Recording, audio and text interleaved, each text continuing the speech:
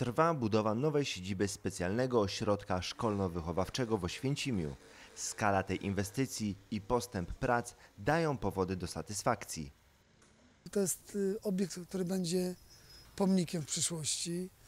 Prawie 60 lat y, y, dzieci niepełnosprawne z upośledzeniami czekały na, godziwą, na godziwe warunki, jeżeli chodzi o edukację.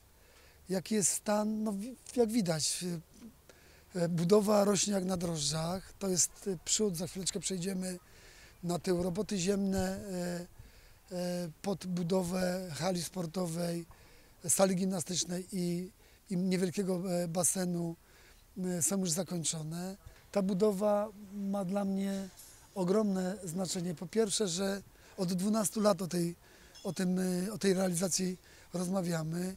E, Po drugie, to, to jest, tak powiedziałem, dotyczy dzieci, które wielokrotnie są poszkodowane e, przez los. Myślę, że, że mieszkańcom tego największego w naszym mieście osiedla Zasole ta budowa no nie będzie e, stała, e, chcę powiedzieć, ością w gardle. Myślę, że, że jest przyzwolenie na, na, na taką, na taką budowlę. Nie mieliśmy innej, innej lepszej lokalizacji, jak dobudować się do części już istniejącego specjalnego ośrodka szkolno-wychowawczego.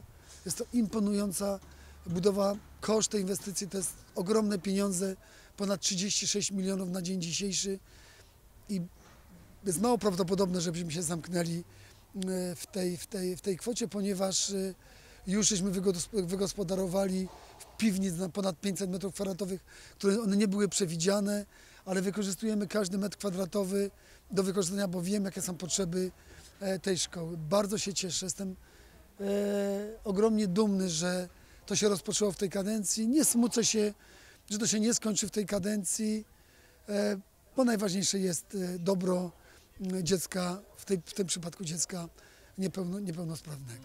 Myślę, że nie ma innej możliwości, jak zakończyć w przyszłej kadencji. Ja myślę, że w pierwszych dwóch latach następnej kaden- kadencji ta, e, ten, e, ta szkoła, ten ośrodek zostanie otwarty dla dzieciaków, które tego potrzebują.